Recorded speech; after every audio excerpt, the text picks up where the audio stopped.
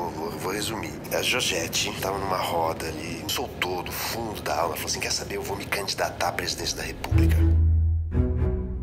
Você faz uma leitura, né, do que, que é um empresário, do que, que é um cara rico. Eu não queria gritar com você. Eu só queria que você estudasse um pouco pra perceber qual é o seu lugar. É um grupo brasileiro Que lindo. para para encontrar com o Mujica.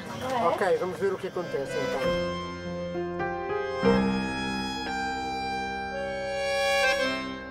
Vasco!